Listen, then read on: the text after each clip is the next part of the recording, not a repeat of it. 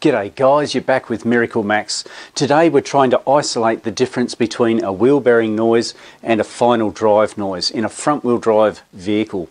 Let's have a look at it.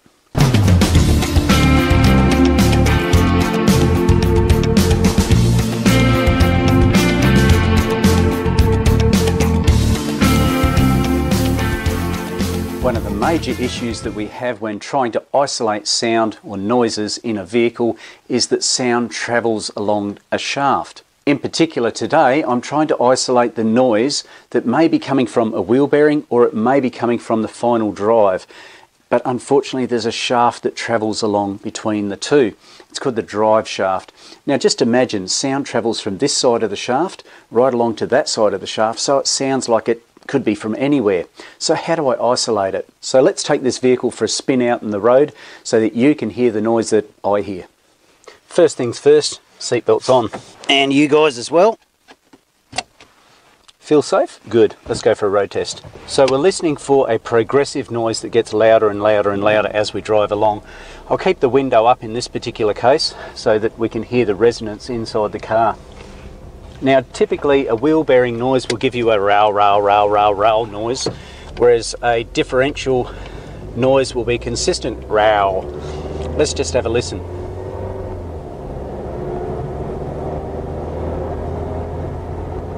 Hear that growling noise?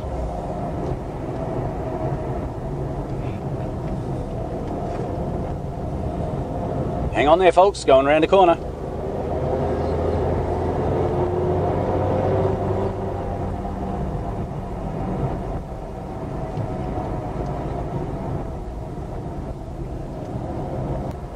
Now typically if we're going to check for a wheel bearing we rock from side to side like this, okay? And generally you'll hear the noise change as the bearing is loaded up or unloaded. You'll hear that rev out noise come and go. In this particular case the noise is consistent which leads me to think that it might be within the final drive. Now it's not as bad as it was the other day. I've actually changed the oil in the transmission which includes the final drive oil as well and I put in some additive too. So I've got to do some more testing before I rule this one, but uh, it's certainly quieter than it was the other day. I just want to get this nice and hot before I do any testing. We'll hang a U in, head back to the workshop. Now you can hear that noise a bit louder now, can't you? But we're getting this rah rah rah noise happening, which is good because we can isolate it a bit better. I really don't want to call it until I've done further testing. So how do you test for a wheel bearing for instance? One of the basic testing methods for checking wheel bearing condition is to grab it top and bottom and move it in and out. In other words, this sort of motion backwards and forwards, okay? And in this case, eh, all feels good. I've put it in neutral so that I can rotate just this wheel by itself and have a listen to it when I spin it up. It's a little bit growly, isn't it? Okay, so it's a wheel bearing, is it? Well, remember, sound travels along a shaft. How can I identify that this is the noise? I'm going to try an experiment that I haven't tried before that might help isolate the fault. To isolate sounds, previously we used to use things such as a screwdriver to the ear and you could hear the sound travel along this shaft into your eardrum and it would magnify the sound. Other things that you could use would be a stethoscope, similar to what a doctor uses. You would stick that against the offending part and see if that was the most noisy thing. But look, in this particular case, as well as modern vehicles, we have all sorts of vibrations coming through and manufacturers use all sorts of things to try and eliminate those vibrations, including dual mass flywheels, including uh, active uh, engine mounts, etc all sorts of things to try and stop vibration coming through. So I'm going to try and use something a little bit different today that may help. So don't laugh, this is my little idea. What I have here is a piezoelectric vibration sensor and it's on a little reed and it has a weight on the end and it vibrates backwards and forwards and that in conjunction with my oscilloscope can tell me if there's any unusual vibration that we should be looking at. I'm going to clip this onto the final drive assembly, take some readings with my oscilloscope and then clip it onto the wheel bearing area and take some readings and see if there's a larger difference between the two and that should determine where the fault is. Well, it's a prototype. this is what I've set up at the moment and don't laugh, okay? Um, I know that Pico put out a NHV sensor, uh, but I don't have that sort of money. So this is what I've hooked up. You can see I've got it onto the back plate here and I've also got a cable tied out the road so that we don't have any tanglement issues. So that goes back to my oscilloscope. Let's have a look at what, a, what the readings are saying. I'm going to run it at about 80 k's at the wheel bearing area then I'm going to shift my clip over to the diff area or the final drive assembly and see if there's any difference in frequency. Let's have a look at that. Alright I'm at the wheel bearing now and we'll just bring it up to about 80 k's an hour and see what sort of frequency range we're going to get out of this signal. So up to 80 thanks. Right so it's a little hard to see the frequency counter there but uh, what are we getting? About five 700 something along those lines I guess. Yeah, it goes up to 700 from what I can see. 700 800 something along those lines. Let's clip it onto the final drive assembly now and see what it does. I've now got it clipped onto the final drive assembly. That way hopefully I can see a frequency change and that might give me an idea of where the actual noise is coming from. So that'll be the next signal that we look at. So you can see I'm getting 69 hertz and a consistent signal over here, aren't we? We'll just put it back on the wheel again to double check our work. Wow, check out the difference, hey? Look at the signal, it's all over the place, isn't it?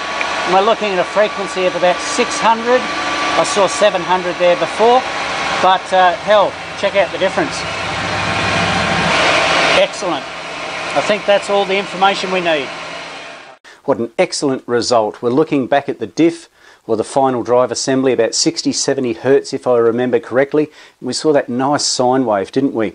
Whereas over at the wheel bearing we saw all sorts of mishmash happening and 6 to 700 hertz. My goodness imagine the difference.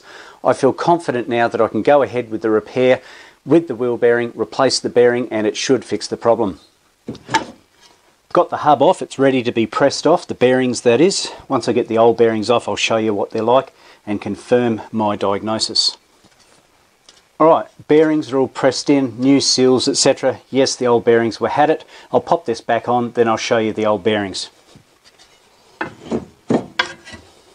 Here's the uh, cups and the bearings, and if we have a look at the cups themselves, you can see how brown they are. Probably don't have very good light on it, but you can see um, there's even marks on them, vertical marks which obviously is overheating and a lack of lubrication.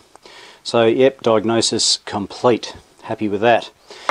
Both of them are the same. They're both browned off and the bearings are in the same sort of condition.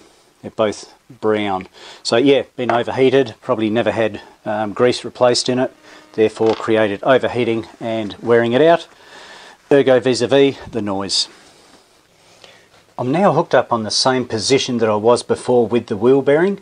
Um, remember that was like uh, six, seven hundred hertz. It was quite mashy in the uh, signal as well. Very, very hashy and it wasn't consistent whatsoever. So let's start it up now, run it at 80 Ks as we did before, see what the frequency and the waveform is like at 80 Ks.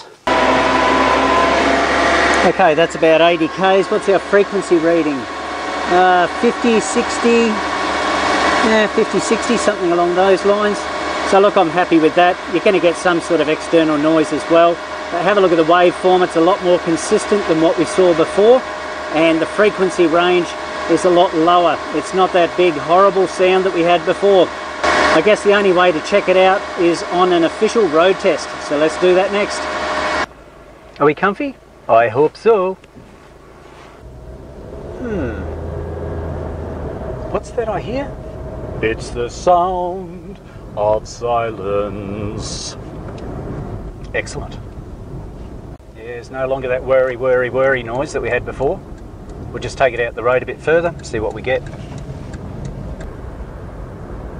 So that's at 80 k's now. I can't hear any noise whatsoever, apart from normal road noise. The tyres are down a little bit, but obviously you're going to get noise from that as well.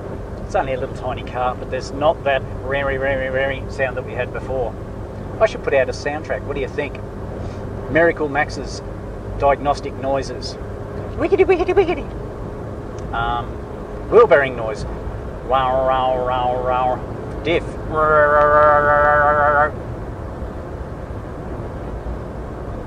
Yep, I'm happy with that. That's pretty good. Let's take it a bit further just to warm it up a bit more. Just keep in mind that I've only done one wheel bearing, the right hand front. Now, no doubt the left hand front is not healthy either. It's done the same amount of Ks, no doubt. I just wanted to determine that it wasn't the final drive assembly. That would be big bickies and not worth it with the price of this particular car. So, yep, just a wheel bearing. Good news. Look, I'm really impressed with the results that I've got from this particular method of testing for wheel bearing noise or any sort of noise. I must admit it's not my forte, so to have something on my side is a good thing.